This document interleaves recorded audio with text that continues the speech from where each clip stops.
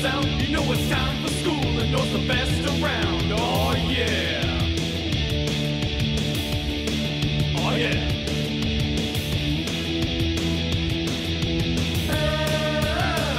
It's time for the show.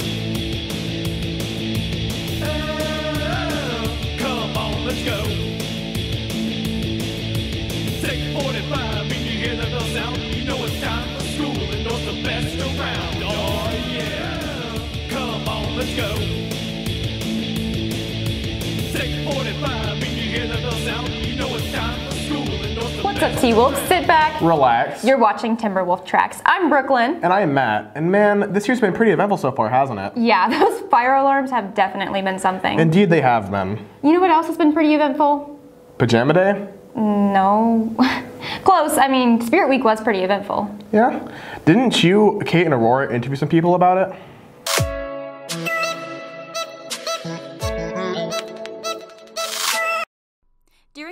We asked some newcomers of Crosstown Clash about their experience so far. Um, my name's Kennedy Carlson, and I am a freshman. My name is Braden. I'm a ninth grader. My name is Lily Geist, and I'm a sophomore. My name's Avery and I'm a freshman. Kennedy, and I'm in ninth grade. Reese Overland and I'm in ninth grade. My name is Hayden Barrowman, and I am a freshman. Emma Abbott in 10th grade. I'm Langley Davis, and I'm a sophomore. I'm Izzy Fletcher and I'm in ninth grade. My name is Sierra Hill, and I am a sophomore. My name's Ella Talley and I'm in ninth grade. Maureen and I'm in ninth grade. I'm very excited. I am really excited because this is the most hyped up game of the year. Super excited. I'm really excited for the game. Probably just seeing everyone dress up and get excited for it. Probably seeing everyone's school spirit and like all the outfits have been really cute. Seeing how other people dress up and seeing what clever ideas they have. Seeing everybody like dress up and like the school spirit. I'm excited to see the student section go crazy. I'm excited to cheer my first game. I'll be in the band doing color guard, and I'm looking forward to all the chants there. I'm so excited to go cheer on the T-Wolves. Just like being there like as a student for the first time. I am really looking forward to performing in the band as I'm in color guard. The game and like the student section. Getting to do all the chants and having fun in the student section. Hanging out with my friends and watching the game and doing all the chants. Hopefully, North beating high. Student section for sure. The student section. I'm looking forward to beating Norman High.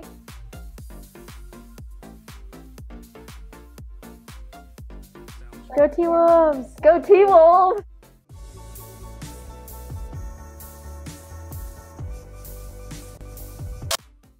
Their enthusiasm was contagious. You know what else is contagious? The flu? No, the atmosphere at the football games this year. Carter and Emma made a piece that captures the success of their season so far. This week, we had a chance to catch up with quarterback Gavin Frakes to see how the season is going. Um, the probably the win versus Norman High, probably both wins. You know, we got two wins, so that's really nice. And probably the first touchdown feeling versus Norman High was really nice. That was definitely, and everybody was, the crowd was going crazy, so that was definitely fun. We need to limit penalties. We've had like 15 plus penalties in both games, and we are just shooting ourselves in the foot. So that's something we've been working on and focusing on. So we need to clean those up. Uh, I mean, we won, and we won by a good margin. So yeah, it definitely went how we wanted it to. You know, it could have been, it, we could have won by more, but I mean, you know, you take wins as you get them for sure. I think it's going to be a really good rest of the season. I think we're going to make the playoffs, and then hopefully we can make a run from there. We also got the chance to sit down with Coach Jones to get his input on the season. Well, I think for me, you know, just seeing the way that we've played, um, obviously to be 2 0 is a highlight, but uh, kind of the way that we've got both victories and then um, the way that we've played offense, I've been really um, happy with. And, and I think our quarterback play has been outstanding. And then we've, we've really had some outstanding uh, explosive offensive plays. And so to see that has been great. And then defensively, to see our guys uh, come along and get some big time stops. You know, we're just playing explosive football on both sides of the ball. Well, I think for us, it's uh, just penalties. We, we've had a ton of, of personal foul penalties and unsportsmanlike conduct, and you know we want to be aggressive, but we want to be within in control of ourselves, and so that's something that we've stressed with our team uh, to make sure that we clean up. Uh, you know, crosstowns, you, you just never know what's going to happen. So at the end of the day, you just want to win it. Um, but you know, to win it and uh, you know to put 40 points on them is obviously fun for us, and uh, you know to win our second one in a row, um, having beat them out in the playoffs last year, I think uh, you know it's just it's nice to you know it always achieves our number one goal, and that's to be the best team in Norman, and so uh, really happy with that. Proud of our kids for achieving that in a dominating fashion. Well, you know, a lot of it's going to depend on uh, we can be as good as we want to be, and so I think for us, um, you know, our guys that aren't necessarily starters right now have to continue to prep because we've got to navigate injuries and a lot of other things as you go through the journey of a football season. And so I think, um, you know, we're going to be as good as we want to be, and we can we can be as good as, as anybody in the state. Uh, but we got to continue to take our preparation seriously, and we got to make sure that. Um, you know, our reserves are ready to go and step in into a starting role at any given time. Uh, you know, I've been at several different places, and uh, it's pretty cool to see the change in our student body. To, to, you know, even not a football instance, but I remember we're practicing a football game, uh, or we're practicing uh, for a game, and I hear our student body roaring at the softball game, and our guys got energy. And then to go out in the crosstown and to see our student body do the things that they did, um, whether they know it or not, it means a lot to the student athletes. And, and it's really cool to see that culture flip uh, and to see our student body really engage and pull for each other. For Timberwolf Tracks, I'm Carter Higgins. And I'm Emma Berglund.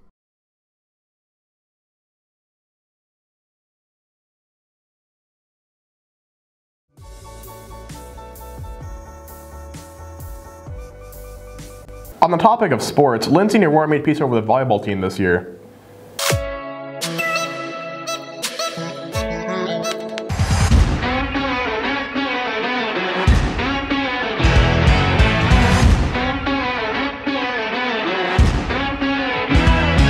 Hey T-Wolves, it's that time again. Volleyball season is here. Let's take a look at this year's team and the new head coach. We sat down with Coach Avalos to discuss the new season. So far, I'm feeling really well, really good about the season. Um, it's a lot of fun with this group.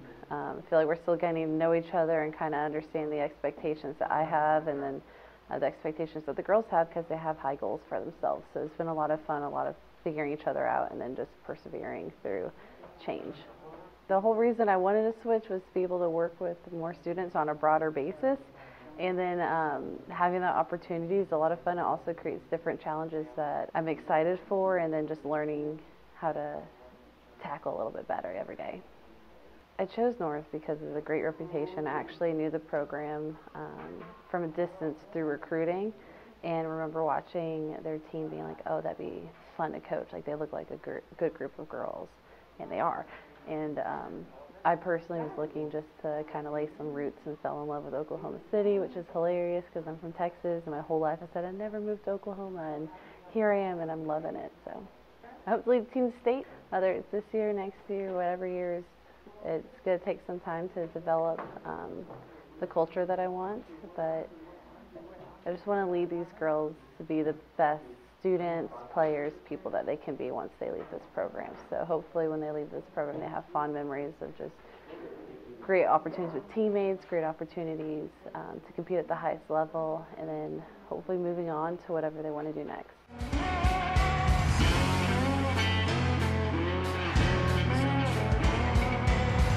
I am a setter, and I like being a setter because it's like a leadership role, and I get to make a lot of decisions. My favorite part about being on the team is just the chemistry that we have and the connection that we build all together. My favorite drill would have to be dig or die just because it gets everyone moving and it helps us work on effort and not letting balls touch the floor. Um, I'm an outside hitter. I like it because you kind of get to do a little bit of everything defense, serve, receive, blocking, hitting, and you're an outlet, so get a lot of touches, get to swing in a lot of balls. I like the new coach's positivity and her encouragement and the way she motivates us. Her personality, 100%. She's like goofy, but when times are needed for her to like get mad at us, I guess, uh, she, it kicks in. So it's it's good. Um, I love that she doesn't take anything like harshly. Like she looks at the good in everything, and I just it's so nice. I like how positive she is. She always can find the good things in bad situations, which is nice because our team is pretty good at being down on ourselves. So a good little equalizer for that.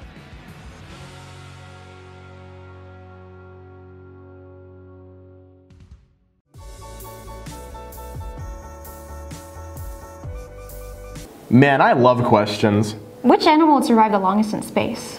Why are you asking me this? well, it's the question of the week. Harrison, Kellen, and Daniel are in charge of it.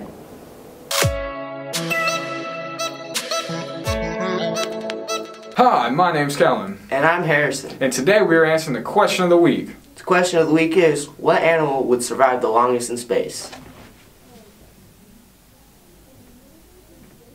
It's funny you ask. I think this is the animal that's going to survive in space, also known as a water bear. I think a platypus would survive in space because Perry the platypus has been there and done that, and he's a spy, so I think he sets a good tone for the rest of the platypuses. A whale would survive in outer space because they could swim through. A ferret would survive in space because they're really aggressive and they bit me one time. I believe that a lizard would survive in space because I don't, I don't think I've ever seen one die like in space. I think a seahorse so they can swim around in the galaxy. My name's Lily. I'm in 12th grade. I think the animal that would survive in space is maybe a polar bear because it's good and cold. Hello, my name is Cameron. I'm in 10th grade, and the animal I think would survive in space the longest is an elephant. One, because they're smart, and two, because they're big animals and they have a, a big lung capacity. Uh, the animal I think that would survive the longest in space is definitely my mom. You know, she's a beast. I've seen her do some crazy things like, I don't know, man. I think she could probably withstand anything, like especially space. Uh, she doesn't need to breathe, honestly.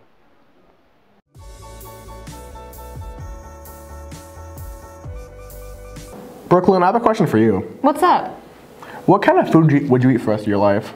Is this another question of the week segment? Yes, but this time it's from Jared, Alex, and Landon.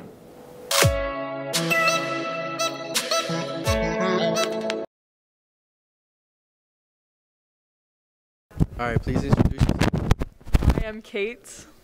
Alright, what's one food that you could eat for the rest of your life? Hmm, probably mac and cheese. Alright, and why? Um, because it's awesome.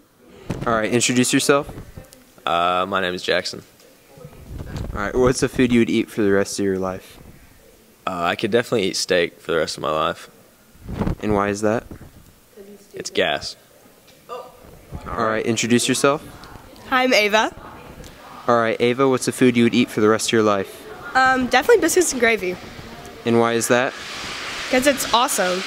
Alright, can you introduce yourself? I'm Lauren. Alright, Lauren, what's a food you would eat for the rest of your life? Uh, chicken Alfredo. Why would you eat chicken Alfredo for the rest of your life? Um, it's really good. Alright, what are you guys' names? Kendra, London. Alright, if you could eat one meal for the rest of your life, what would it be? Protein balls and sweet potatoes. Um, strawberries and pickles. Alright, why? Um, because they're sweet, but they're not bad for you. Um, I'm just addicted to them. I don't know. Alright, introduce yourself. I'm Sam Millar. I'm a sophomore. What's one food you would eat for the rest of your life? Subway sandwiches. Eat fresh. Any good reason for that? I just feel like it's the one thing you could probably eat for the rest of your life without getting tired of it, you know? You could switch up the ingredients. Eat fresh. Can you introduce yourself? Uh, my name is Tuka Malabadi and I'm a junior. Um, if there was one food that you would eat for the rest of your life, what would it be? Probably bagels because you can change it up so you won't get like all sweet foods or all savory foods and it's a nice balance. Okay. Can you introduce yourself? I'm Jennifer and I'm a senior. Okay, if there was one food that you would eat for the rest of your life, what would it be? Chick fil A. Why Chick fil A? Because you can never go wrong with that.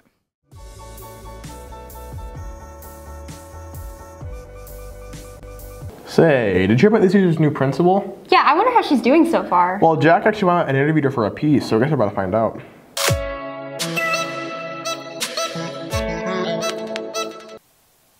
Hello, my name is Dr. Kim Garrett. I'm the new principal here at North. And um, I think today the goal is just to give you a little bit of information about myself. Um, so this, as you know, for those of you who have been here in the past, um, this is my first year here at North. I started in July. Um, I've been in Broken Arrow for four years. I worked there as the director of academics. So that means I worked with the high school in Broken Arrow. I was not the building principal, um, but got to work with the principal and teachers. And then my last year there, I actually got to um, run a really cool program for high school students who wanted to graduate from high school at the same time also graduate from college with a two-year college degree.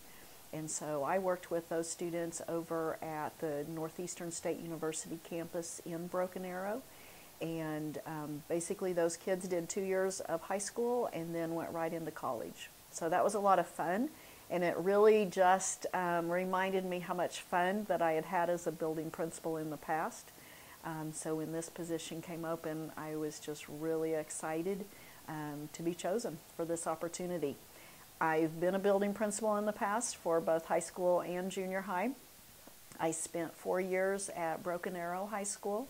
Um, we were a high school when I started, we had 3,300 kids, and by the time I left, we had 3,800 kids.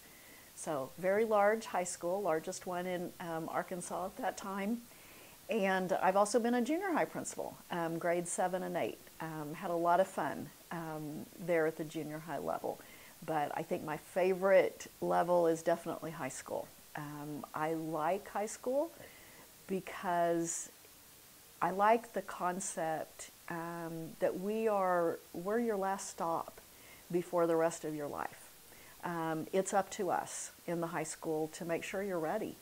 Um, some of you are going to go on to college or a university. Some of you may continue your education at a technical school. Um, some of you may take a break. You may go directly to work. Um, just lots of different opportunities. I've always felt like my goal um, working with high school students is to make sure that you have choices that you are you do not leave high school locked into one choice because you didn't walk away from high school with the skills that you need to be successful. So um, my my role is about choices. Um, some of my goals this year, I want first of all because of um, what I just talked about, I want you to be successful academically. I want you to leave high school feeling like you received a high quality education. And I know from already working with the teachers here, that's exactly what um, the teachers here prepare you for, um, is for whatever the next step is. But you know what? It's also high school. I want you to have fun. Um, I want you to be able to make memories here. One of the things I've had lots of different people talk to me about is just really increasing the school spirit. You know, I was just really, I have to say, I was really surprised when different people came and talked to me when I first started and said um, that here at North, um, some some people don't feel like we have enough school spirit, and of all the places not to have school spirit, why North? I mean, this is an incredible high school. Um, we should have the most school spirit um, anywhere in any high school. So um, I love what's going on right now. Um, I loved seeing all the students at the volleyball game, um, all the students at the softball game last night. That was terrific. Um, and I want us to continue to grow those experiences, to make them fun, to make them meaningful, so that um, when you look back years from now, you you have many memories to talk about with your kids and, and just a really enjoyable experience of attending North.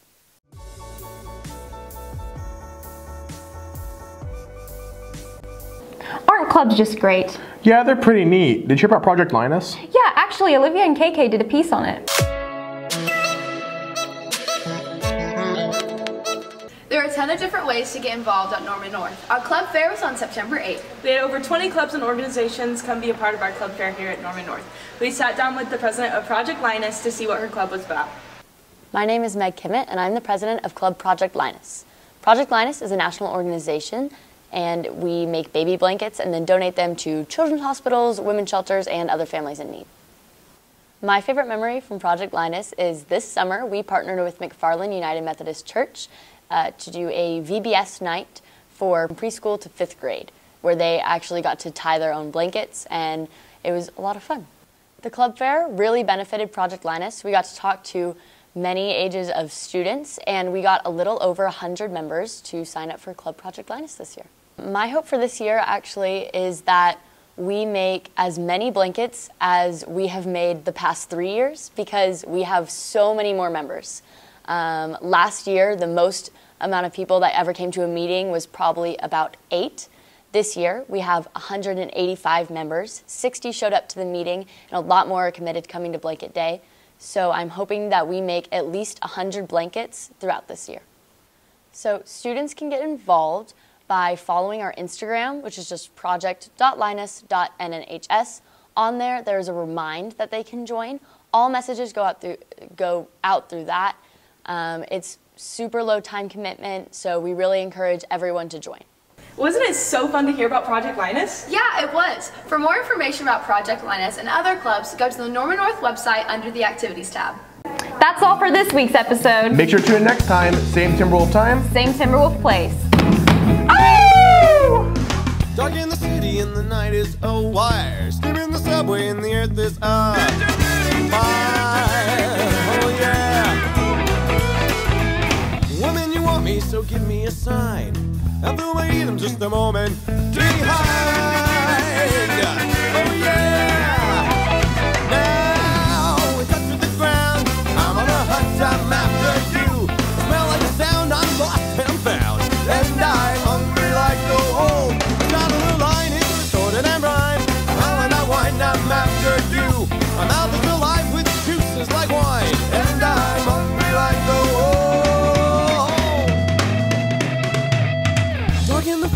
It's too close to hide. I'll be upon you on the moon.